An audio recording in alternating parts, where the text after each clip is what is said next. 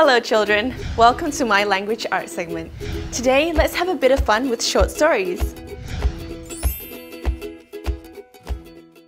The short story I have in mind is The King of Kites by Judith Heneghan and Laura Fournier.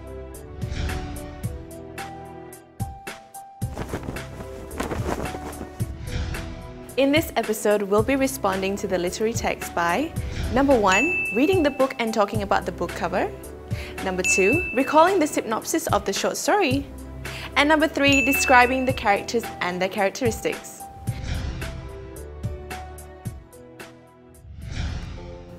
Are you ready? Let's begin.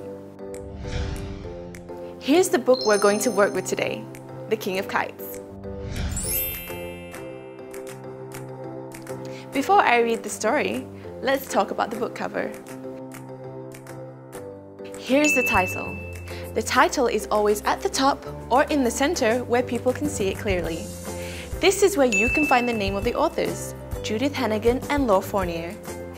They are the ones who wrote this book.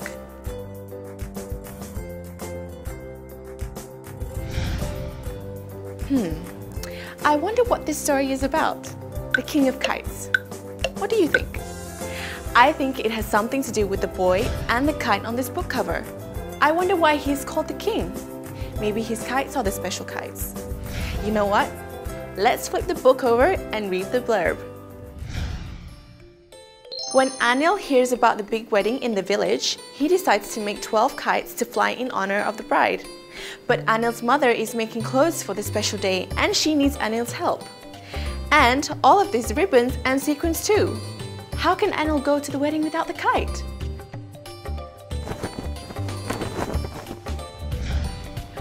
Oh, so now we know that the boy in this picture is called Anil and he has a little mission with his kites. Oh, I'm so excited. I wonder how he's going to make the kites for the wedding. Do you think he'll succeed? Let's read the book to find out.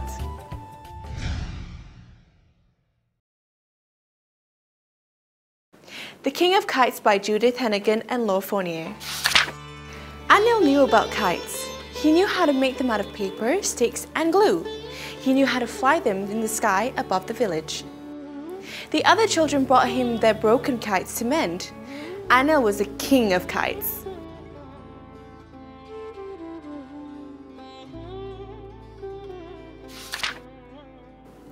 Anil's mother knew how to sew.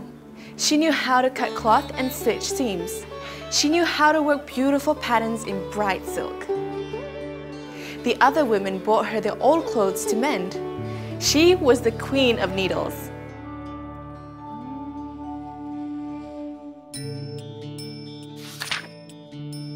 Every morning, Anil and his mother sat down in the corner of the yard. Anil's mother had everything she needed, folds of fabric, reels of thread, and a pot of shiny new pins. She set to work and soon her needles flew.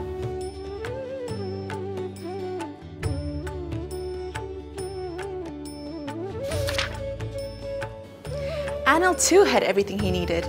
Sheets of paper, spools of string, and a pot of good, strong glue. He set to work and soon his fingers flew.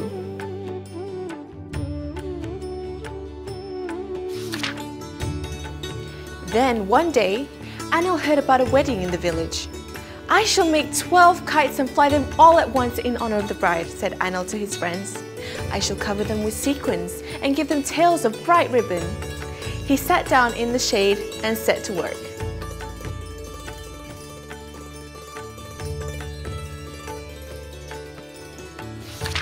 But Anil's mother was not pleased. I shall have extra shirts and saris to sew for the wedding, she cried. You don't have time for kites, Anil. I need your help and I need your sequins and your ribbons. It was true. The whole village wanted new clothes for the wedding.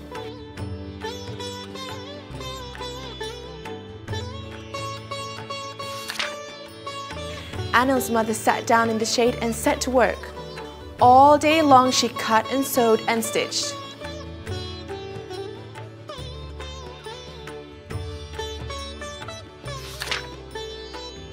I need more cloth, she cried, and Anil ran straight to the market. I need more thread, she cried, and back he went again.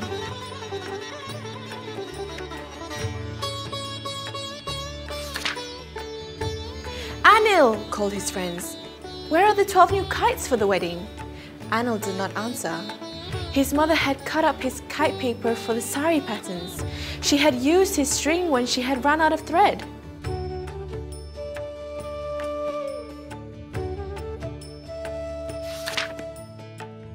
By nightfall, all the new clothes were ready. But Anil felt sad. How could he go to the wedding without the kites?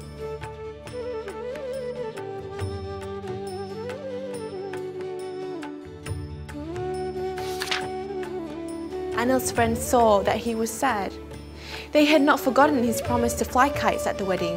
When Anil woke up in the next morning, 12 kites lay on the ground outside his house, the kites he had made for his friends long ago.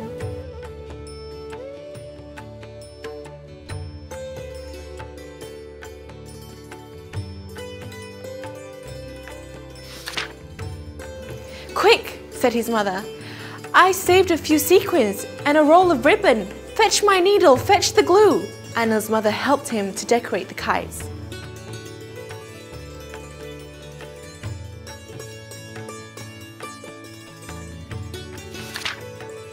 At the wedding, everyone praised Anil's mother for her stitching. She was the queen of needles. And everyone admired Anil's 12 beautiful kites flying high in the sky.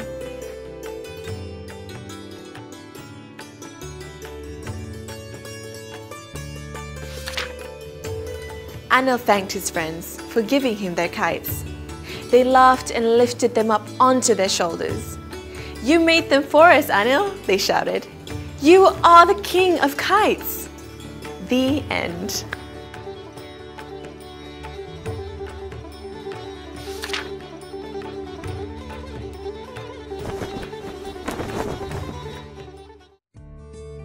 Wow, what a beautiful story.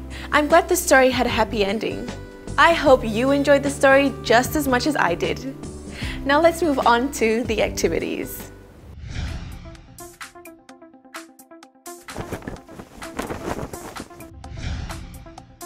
Now, we are going to talk about the synopsis of the story. A synopsis is a brief summary of the story. It summarizes all the important events in the story. I'm going to show you a few sentences about the story. Your task is to arrange these sentences in the correct order to make a synopsis. Write your answer in the flowchart given.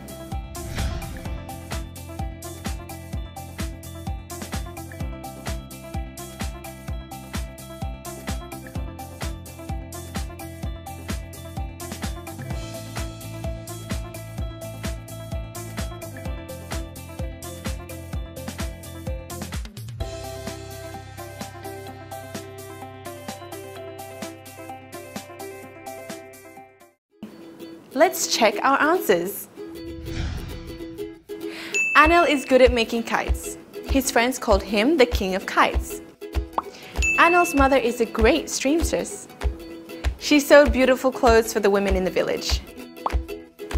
One day, Anil heard about a wedding to be held in town. He promised to make and fly 12 kites at the wedding. However, Anil's mother was busy sewing clothes for the wedding and needed Anil's help. Anil had to go to the shop to buy supplies for his mother. He was sad because he had no time to make the kites. On the morning of the wedding, Anil woke up to find 12 kites from his friends at his doorsteps. At the wedding, Anil proudly flew the kites with the help of his friends. Both Anil and his mother were praised because of their splendid jobs.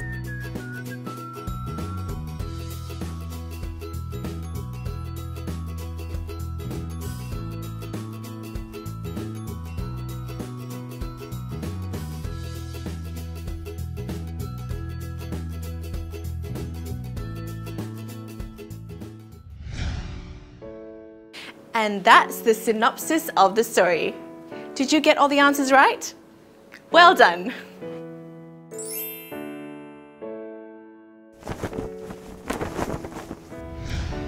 Characters and characteristics. There are two very important characters in this story. Do you know who they are? This is Anil. This is Anil's mother. Can you describe their personalities? What kind of people do you think they are? Remember, we use adjectives to describe a person. Also, provide a reason based on the story.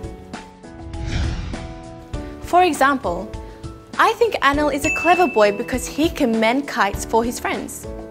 And I think Anil's mother is a talented woman because she can sew beautiful clothes.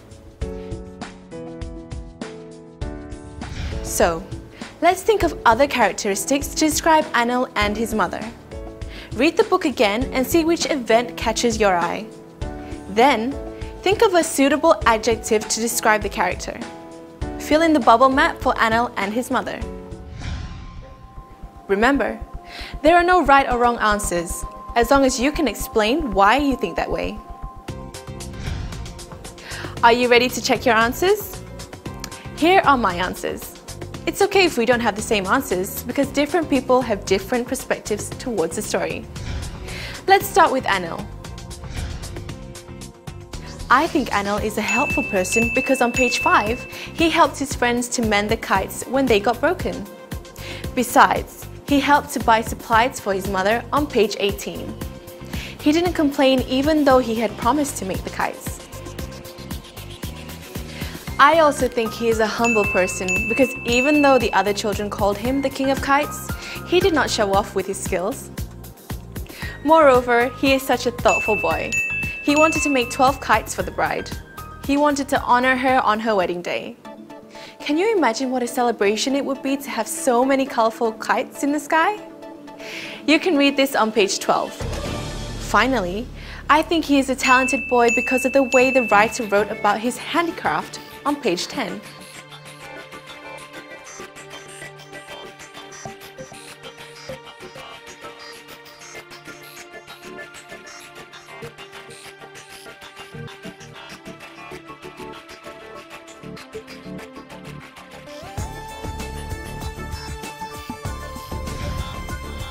He set to work and his fingers flew. The word flew here doesn't literally mean his fingers flew away. No, it means he was good at what he does, that his fingers were very fast at making kites. That's why he is talented. Now let's talk about Anil's mother. I think Anil's mother is a hardworking woman because she spent all day sewing new clothes for the whole village. You can read about this on page 17. I also think she's helpful because after all the clothes she's sewn, she helped Anil to decorate the kites. This was mentioned on page 26.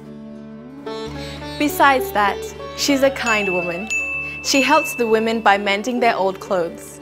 This was mentioned on page 7. Furthermore, she's a resourceful person. On page 20, when she ran out of paper for her sari patterns, she used Anil's kite paper. She also used his strings when she ran out of thread.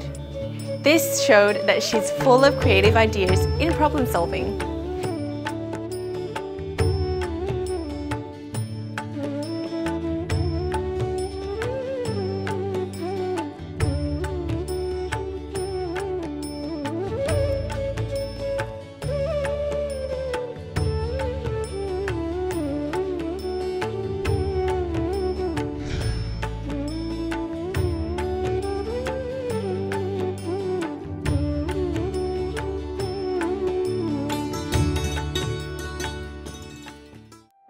And that's what I think of Anil and his mother. I wonder what your answers are. Share them with your teacher or friends. I hope you've enjoyed reading this book and doing the activities with me. Till next time, bye!